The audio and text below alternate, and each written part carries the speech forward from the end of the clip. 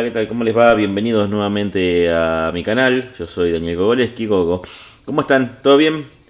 Eh, bueno, como vieron, estamos relanzando el canal y estamos empezando a tratar de crear contenido nuevo nuevamente. Espero que, se vayan enganchando cada vez más y que les vaya gustando. Em, como persona que me gusta coleccionar vinilos y cassettes y todas esas cosas, todo el tiempo eh, la gente me, acerca cosas, me, acerca regalos o me dice, mira lo que encontré en el altillo, en, el cajón del abuelo o en donde sea, ¿no? Y bueno, el otro día un amigo mío se acercó y eh, me acercó este disco como una sorpresa. Eh, estoy muy contento, ¿no? Porque aparte, bueno, no, no es que a ustedes les importe, pero al ser miembro de la iglesia esta también, de la iglesia de Jesucristo, eh, me, la verdad que me, me, gustó mucho el regalo y encontrarme con un disco del coro del Tabernáculo de Mormón, que es uno de los, de los coros más importantes del mundo y es uno de los pocos eh, coros de esta calidad, que es, un coro que no es un coro profesional, que es todo formado por gente que trabaja de otras cosas, que vive de otras cosas y que hace esto amateur, eh, de forma amateur, este, de forma este, independiente y por, amor al arte, básicamente, ¿no? Este, pero que han grabado varias cosas hasta el día de hoy, inclusive. Eh, por ahí tengo algún CD también que después se los voy a mostrar. Este, y siguen, siguen apareciendo en grandes sellos discográficos de la música clásica. Porque la calidad interpretativa de esta gente es fabulosa. Pero bueno, vamos a centrarnos en el, en el disco este que me han regalado. Que, como, como les contaba recién, esto estaba en el, en el cajón de algún abuelo, de algún familiar, de algún amigo, y me dice, a lo mejor a vos te gustaría tenerlo. Claro que sí, obviamente, y yo no me quejo mucho del estado de los discos en general, porque me gusta también el hecho de, recibirlos eh, en su estado como está y restaurarlos, ¿no? Porque es algo, es parte de mi hobby también, ¿no? Me gusta, me gusta encontrarme con estas cosas y, este, y tratar de, mejorar su estado. Por ejemplo, me encuentro con que tiene estas manchitas acá y bueno, tratar de dejarlos bien. Inclusive los discos, eh, como verán y como podemos todos imaginar, yo me encuentro con este disco que, eh, por empezar, seguramente va a estar lleno de tierra, porque hace muchísimos años que no se usa. Eh, va a tener algunas rayas inclusive. no sé si las llegan a apreciar por acá eh, yo lo primero que hago es pasar el dedo. Si se siente muchas rayas, por ejemplo, estas que tengo acá, mm, yo paso el dedo y no las siento, pero estas, por ejemplo, sí, yo sé que si yo las siento en el dedo, la púa las va a sentir y las va a reflejar en el sonido también, ¿no es cierto? Lo primero que voy a hacer cuando me regalan un disco en estas condiciones es, por supuesto, limpiarlo eh, y ver cuál es su estado real, ¿no? Lo que yo tengo acá es limpia discos. Algunos se lo van a vender, en algunas disquerías los venden. Yo lo fabrico yo mismo. En algún momento les voy a enseñar cómo fabricarlo. Es muy fácil y mucho más barato de lo que ustedes eh, lo, pueden conseguir en cualquier disquería, se los puedo garantizar. Este, lo que sí tengo por acá, que he comprado por ahí, traten de comprar de buena calidad, eso sí. Son estas eh, telas de microfibra son como unas toallitas, generalmente las venden para, para limpieza del auto, son exactamente las mismas que le van a vender en una disquería, las mías ya están bastante usaditas, ¿no? Eh, pero si las compran en limpieza de auto seguramente van a ser mucho más económicas, ¿no? Y sirven lo mismo porque son muy suaves, son, no lastiman el disco para nada, yo inclusive eh, puedo pasarlo seco. Yo lo que suelo hacer es, más allá de que tengo esta tabla de corte aquí, eh, apoyo el disco sobre una de las toallitas, como para evitar que se arrastre mucho y evitar que se formen más rayas nuevas, ¿no es cierto? Entonces, primero que voy a hacer es retirarle un poco la tierra. También lo pueden hacer con un cepillo antiestático. Eh, inclusive hay unos pincelitos antiestáticos que pueden que sirven para retirar eh, retirar el polvo. Este, yo tengo uno, lo utilizo generalmente antes de escuchar el disco, yo para retirar alguna pelusa o algún pelo que ande volando. Yo tengo gatos, así que los discos míos siempre están llenos de pelos. Este, Así que lo que voy a hacer ahora es apenas rociar, no necesitan rociar mucha cantidad. Este, y lo vamos a limpiar bien, pero lo vamos a tomar bien por el medio, por la etiqueta, tratando de poner lo menos posible las manos en el disco para no para no dejar la grasitud de los dedos sobre todo. Lo limpiamos bien. Y yo lo que hago es dar vuelta la, la toalla del lado seco y volver a pasarlo para volver a secarlo. Generalmente con una buena pasada y bien presionando bien fuerte, no le van a hacer nada al disco. Eh, hay, mucha gente que se preocupa mucho por el estado del disco y por no manosearlo no manipularlo de determinadas maneras. Chicos, el disco está hecho de PVC, eh, del mismo material que están hechos los caños del agua, eh, los caños más, más comunes del agua. Si ellos resisten cualquier cosa, el disco también. hay que preservar la grabación porque sí, es muy delicada, lleva muy poquitos milímetros la grabación y bueno, obviamente si si nos encontramos haciéndole algún daño se va, a repercutir en la grabación, ¿no? Pero el disco en sí puede manipularlo tranquilamente. Yo ahora lo estoy limpiando así. Si tiene mucha más tierra que este, probablemente lo meta en, la, en el fregadero y los laves con una esponja y detergente. Una esponja de lavar los platos, que yo tengo especialmente separada para esto, que no se llena de grasa, de los, de los fideos y esas cosas, pero este, lo limpiamos con lo mismo, ¿no? Acá tiene unas rayas un poquito más fuertes, ¿no Y unas manchas, digo, quiero decir, un poquito más fuertes. Que probablemente sean, no sé si las llegan a ver. Probablemente sea eh, algún, yo suelo decir que parece caramelo, este, ese tipo de manchas. Probablemente lo sea, probablemente no. No quiero andar mucho en detalles ni preguntarme demasiado qué serán esas antiguas manchas en los discos. Yo presiono con fuerza. Si está apoyado en esto, no le va a pasar nada al disco, chicos, no se preocupen. Este, no todos, sobre todo viviendo en Argentina, podemos tener tampoco bandejas de gran calidad. Generalmente todos tenemos bandejas antiguas y si compramos las modernas compramos generalmente las, las valijitas que son bastante precarias.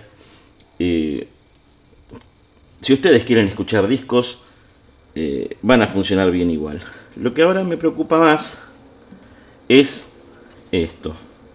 Estas rayitas que si yo las toco, no sé si las logramos ver. Nuevamente las muestro. El disco está mucho mejor ahora, ¿no? Pero yo las toco y las siento. Tanto esas como estas de acá. Y ahora vamos a ir a la parte más controversial de este video. Lo que les voy a mostrar es cuando yo me encuentro con este tipo de rayas, qué es lo que hago. Y si me esperan un momento... No, no se puso la cámara en azul, no tengo problemas este, técnicos. Lo que les estoy mostrando acá es mi solución una solución eh, bastante controversial para algunos, sobre todo para los que son muy cuidadosos de los discos y te dicen que mucha presión no hay que usar en los discos y, todas esas cosas. Lo que yo tengo acá no son simples láminas de cartulina, si ustedes pueden ver aquí, esto es papel de lija. Pero no es cualquier papel de lija, ¿eh? es un papel de lija muy fino Lamentablemente me quedé sin papel de lija más fino que este, así que lo que voy a hacer es empezar con este que si ustedes van a lijar una pared con esto o una madera con esto, seguramente no van a lograr casi nada. Pero para un disco es bastante grueso. Tengamos en cuenta que el número de una lija normal de lijar madera o papel es de 80 a 100. Estamos hablando de una lija 2000 y lo que tengo acá es una lija 7000. Que prácticamente es una lija para sacar brillo nada más. Si yo la toco inclusive no siento rugosidad. En esta apenas puedo sentirla un poco. Yo lo voy a empezar directamente con la lija 7000. A, a intentar sacar esas rayitas que había sentido con mi dedo. Si no logro hacerlo con la 7000, eh, lo que voy a hacer es probar con la 2000 y luego pasar la 7000 para alisarlo más. Pero la lija no la vamos a pasar seca, porque vamos a vamos a marcar mal el disco, no lo vamos a marcar bien. Yo corto un corto un pedacito muy chiquitito. Lo hice fuera de cámara porque el zoom está muy cerca, pero yo te voy a cortar un pedacito así. Con agua o con el mismo limpiadisco que tengo acá. Yo lo voy a hacer con este porque me place. Voy a mojar un poquito nada más. Lo que voy a hacer es darle suavemente con la lija. Lo que tendría que hacer es tener un taquito o algo, pero lamentablemente no lo tengo. Pero siempre para el lado donde va el surco, no como hice recién, hacia el otro lado. Le voy a dar muy suavemente. Ejerciendo cierta presión, obviamente. Siempre con el disco húmedo, por favor. Vamos a darle de esta manera. Siempre el lijado va a ser donde apoyen el dedo, por eso decía que a lo mejor hubiera sido mejor tener un taquito para hacerlo más uniformemente. El lijado va a suceder donde apoyen el dedo. Así que tengan en cuenta que van a tener que ir moviéndose. Siempre levantando la lija para no marcar el surco. Vamos a darle muy suavemente.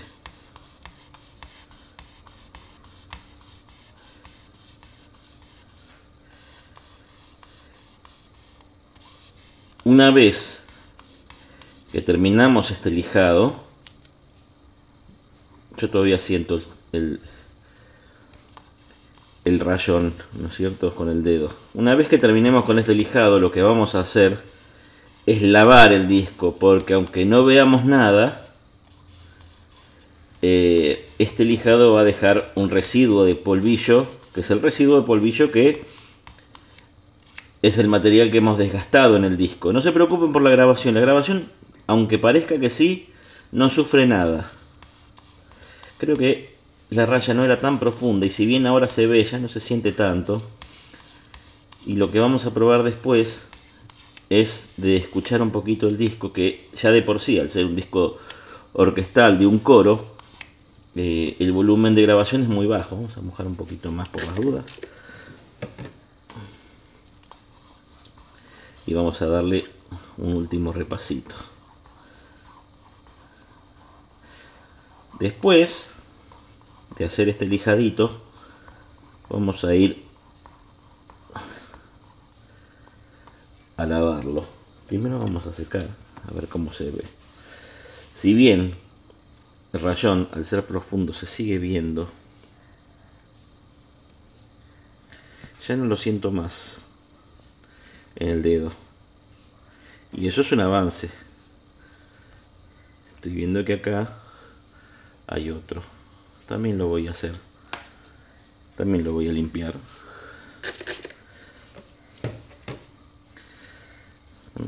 También lo voy a, lijar. Total. Ya estamos acá. Tengamos en cuenta que no vamos a hacer esto con una, una copia nueva 180 gramos, salvo que esté tan arruinada como esta. Esto lo hacemos en un disco que ya consideramos casi perdido y que a lo mejor podemos darle una nueva vida gracias a esto. No he visto muchas copias de este disco y por eso me preocupo de hacerlo también para rescatar el regalo de mi amigo que tuvo la deferencia de alcanzármelo hasta la puerta de mi casa. Barbijo de por medio. Y obviamente voy a tratar de sacar lo mejor de él. Y si no puedo hacerlo funcionar, igual me lo voy a quedar. Porque es un regalo. Y ahí estamos. Ahí mejor un montón también. Hay otra rayita por acá.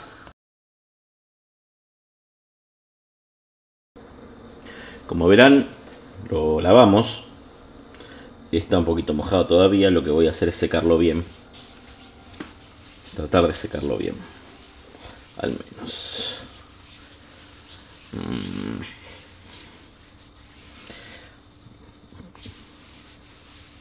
Agua y detergente. No se complique, ni una esponja, una esponja limpia. Si quieren un poquito tibia. Hay gente que les va a vender, prácticamente el lado B ya está seco con, el, con la de abajo. Hay gente que les va a querer vender un, un chupete, un coso que se pone acá, para que cuando laven el disco no se mojen las etiquetas. A ver, esta etiqueta pasó por abajo del agua. A ver si puedo hacer foco un poquito. Eh. No, es muy cerca, pero más o menos. Esta etiqueta pasó por abajo del grifo directamente. Normalmente, un disco de calidad no debería sufrir absolutamente nada más. Si bien está un poquito gastada y ha pasado agua por abajo, esto se va a secar enseguida, chicos. No se desesperen si se les moja la etiqueta. No, va a parecer que tiende a salirse, pero no se va a salir nunca. Me pasó así con algunos discos más modernos, sobre todo algún disco de difusión. Esperen que ahí se los muestro. Acá está, me pasó con este disco. Lo estaba lavando el otro día y me di cuenta que la etiqueta es un sticker. Entonces empezó a querer, porque es una, es una etiqueta pegada. Es un disco más moderno del año 88, es, es un disco de difusión para radios que tiene dos temas de Rod Stewart que son de distintos discos inclusive, es como una muestra de Rod Stewart nada más.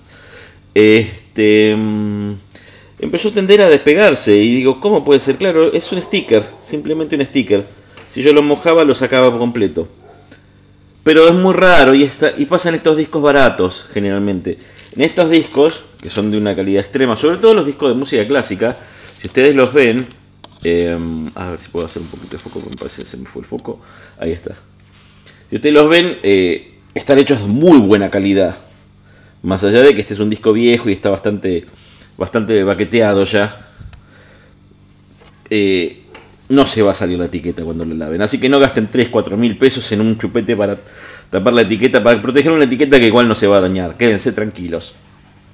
Y si está dañada, ya está dañada. ¿Me entienden? No gasten plata en pavadas, cómprense, una buena púa. Eh, que ahora, en estos momentos en Argentina, vale lo que vale una pequeña provincia. Pero cómprense una buena púa y no gasten en pavadas. De, verdad se los digo. Bueno, eh, tenemos el disco medianamente restaurado. Del lado B no encontré fallas graves. Pero del lado A tenía estas razones. Que ahora ya prácticamente no lo siento. Probablemente se escuchen igual, pero menos. Lástima que no les hice escuchar antes, eso fui, fui bobo yo para, mostrárselos. Pero igual se los voy a mostrar ahora para que vean que un, disco lijado no suena peor que un disco este, sin lijar. ahora les voy a mostrar.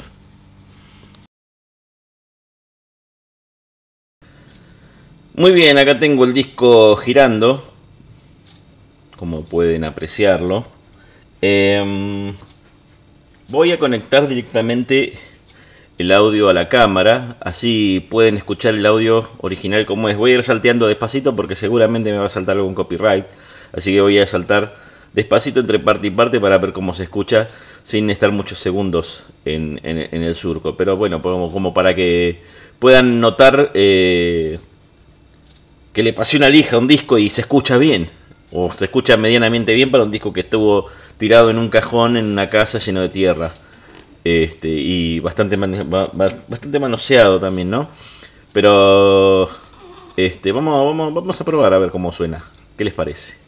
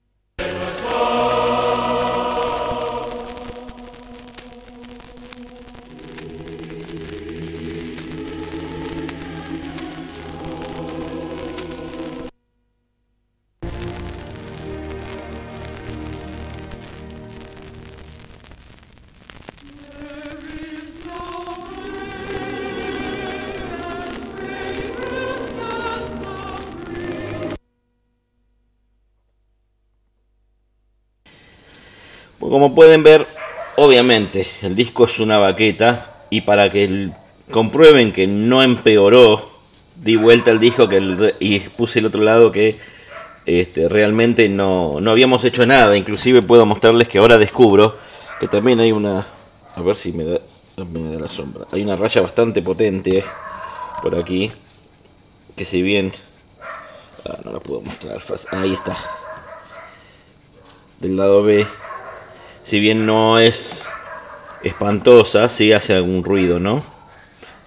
casi no la siento en el dedo. Pero está. Eh, a ver.